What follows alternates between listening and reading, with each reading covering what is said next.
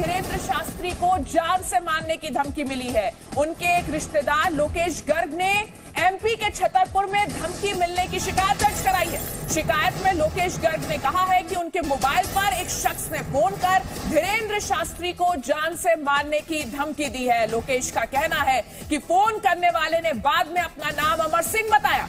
तो ये बड़ी खबर, छतरपुर की बमीठा पुलिस ने इस मामले में धारा 506 और 507 के तहत एफआईआर दर्ज कर ली है।